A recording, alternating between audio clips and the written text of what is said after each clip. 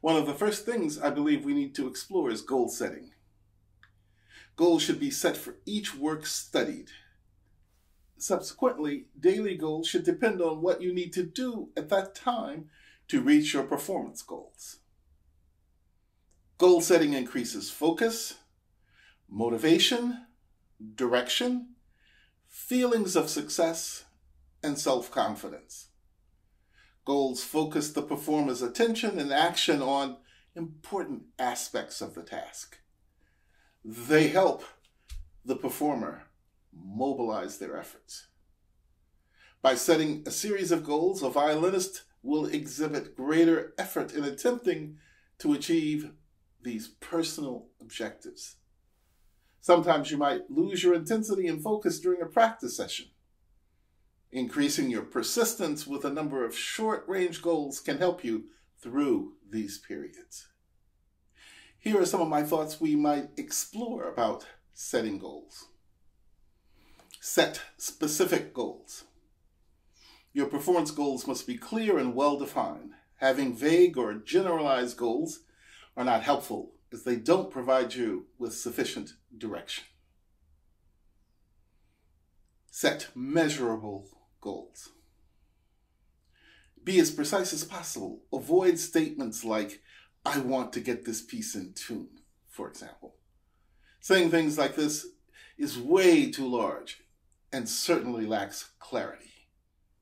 Your precision in articulating your goals will allow you to more easily measure your degree of success towards achieving them. Set attainable goals. Make sure that it's possible to achieve the goals you set. If you set a goal that you have no hope of achieving, you will only demoralize yourself and thus erode your confidence.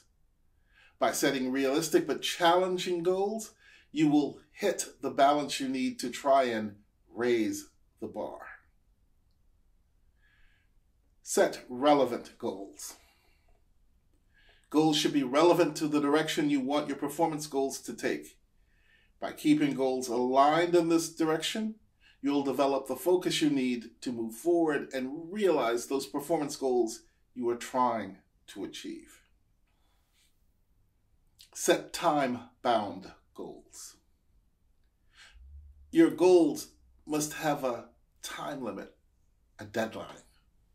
When you're working on a deadline, your ability to focus increases, allowing for a clearer, quicker path towards their achievement.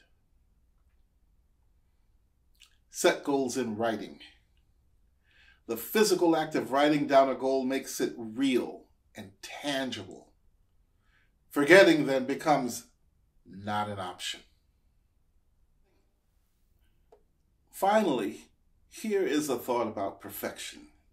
You see, when we are setting our goals, we need to be sure to understand that the pursuit of perfection is different from the pursuit of excellence.